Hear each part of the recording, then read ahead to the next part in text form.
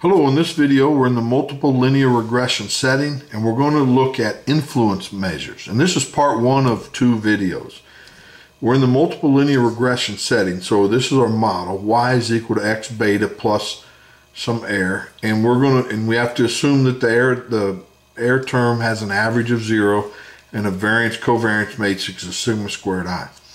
Now, if you go in the R statistical software program and type question mark influence dot measures, the following functions come up. Okay. R standard, R student, and these deal with outliers, and we covered these two functions in previous video 65 and 66 in this playlist. So this playlist is general linear models regression and uh, hat values and DF fits. That's what we're going to cover in this part. DF betas, covariance ratio, and Cook's distance. That's what we're going to cover in part two. So all these, these seven functions are in base R and they help you deal with finding influential and outliers points. So here's a, some definitions. And high, a high leverage observation is an observation that is far removed from the center of the regressor space. An outlier is an observation that seemingly contradicts the postulated value, and an influential observation is an observation that exerts substantial influence on the fitted model when removed significant changes to the fitted model results. Okay, and here's um, you know, a Venn-like diagram of what, you know, how we can classify each these observations. So this square represents outliers. This square represents high leverage, and this dark border represents influential uh, points. So we can have outliers that are not high leverage, meaning you know they're towards the center of the regressor space, and and do not exert influent, uh, substantial influential on the model. Um, high leverage too means that it's far removed from the data set, but it doesn't necessarily mean it's an outlier or that it has uh, inf influence on the model. And we'll we'll get into this a little bit. So looking first at the hat values. Now the hat value is are the diagonal elements of the hat matrix. Now the hat matrix is X, X transpose X inverse, X transpose. But just looking at the diagonal elements. And it's kind of neat because those tell us which observations are um, have high leverage. So identifying high leverage points may or may not be influential. And I, I have an illustration below to, to for that. But briefly, uh, these were discussed in previous video 65. Um, now from previous video 39, we know the hat values are between, you know, 1 over n and 1. And when they're close to 1, we know that that ith set of regressors are far from the center of the, of the regressor space. And when they're really small, we know that the ith uh, regressors are close to the center of the data. And the rule for high, evaluating high leverage or classifying high leverage points is if the hat value is greater than this. So it's essentially two times the average hat value. Then we're going to classify it as high leverage. Now here's a few examples of data. And we're, and, and, and we're trying to evaluate these three points right here. Okay. Now this one is high leverage right? Because it's far removed from the center of the data. But if we were to fit this model, we'll get something like this.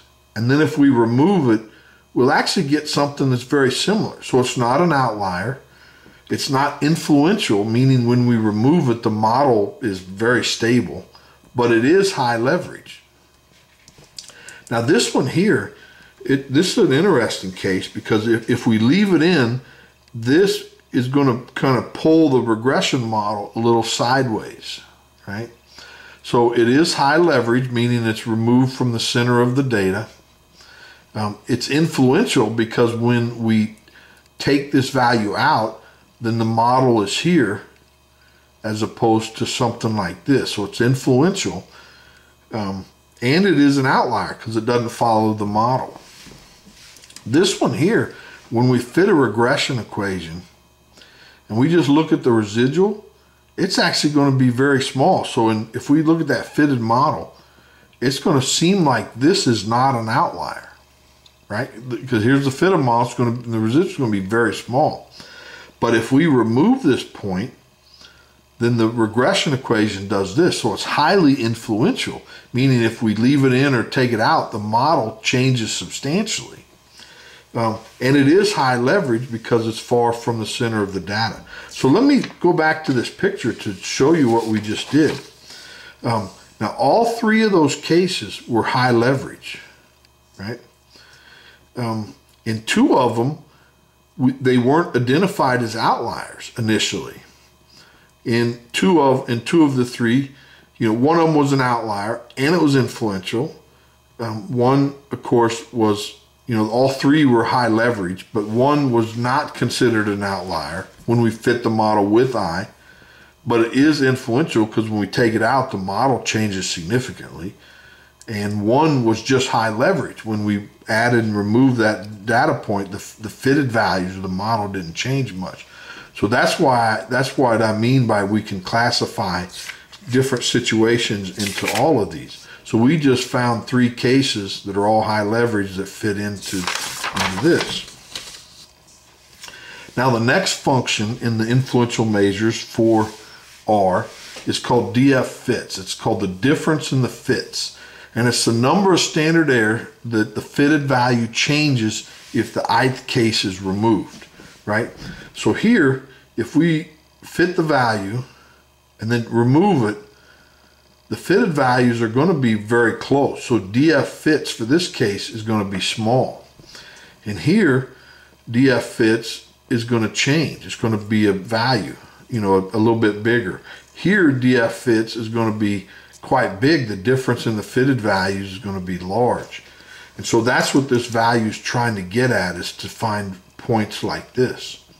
Now, it doesn't necessarily mean these are errors and should be removed, but they're highly influential and they should be investigated, right? Maybe we're not adding enough uh, predictor variables into our model. Maybe we should add a, like a power transformation onto a regressor. You know, something is going on and we just need to investigate it. Okay, so now the uh, let's find the variance of the fitted value. now the fitted value is the ith set of regressors times a beta value.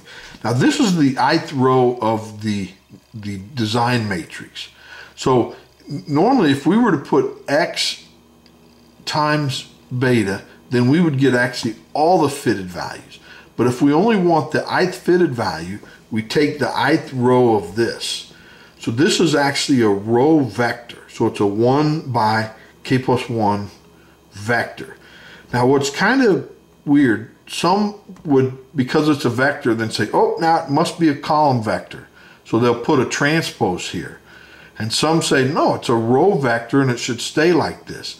And so this, whether the transpose is here or not can be confusing sometimes. So you really have to know, you know, notationally what people are doing. So to find this variance, that's a constant. So we take it out front and then we transpose it out back. And the variance of the beta hat, this vector, is sigma squared x transpose x inverse. Now this piece right here is actually the ith diagonal of the hat matrix. So if we were to put the x, the full design matrix here and here, so x, x transpose x inverse x, that would be the hat matrix. But if we look at the ith row and the ith column, that isolates that i, ith diagonal. So this is the variance of um, the fitted value. So DF fits is this. So it's the fitted value with all at, at fitted value at observation I minus the fitted value at observation I, but with the ith observation removed, right? And then divided by the standard deviations, right? So it's the number of standard deviations that the fit value changes. But since this is an unknown parameter, we have to estimate it with the data. So we estimate it with the standard deviation. With the ith observation removed. Because, right, if the ith observation is weird, it may overinflate that value, so we just leave it out. Now, the rule is that if any uh, DF fits, the absolute value of any DF fits for any observation i, if it's greater than 2 times the square root of k plus 1 over n, we classify that observation as having high influence, right? Now, oh, this one did not, this one did not have high influence, but these did. Now, to me, what is the next result is a little bit mind-boggling to me, and this it's I'm so fascinated by this that when we look at this, this value is calculated from all the observations. This one is calculated from we take the eighth observation out and then calculate it. This is from all the observations. This is from we have to remove the ith observation to estimate it. But the next theorem tells us that we, we actually don't need to do separate regressions for each observation, right? All in DF fits can be calculated from one regression. Um, so from previous videos, let's prove that. From previous video 65, we showed this relationship is true. So this is the, the beta vector with all the observations used to estimate it. This is the beta vector where we take out the ith observation. This is the you know the design matrix. This is the ith row. This is the residual, um, and then one minus the hat value. Now, if we pre-multiply this and this by the ith row of the design matrix. We get this, right? And then that.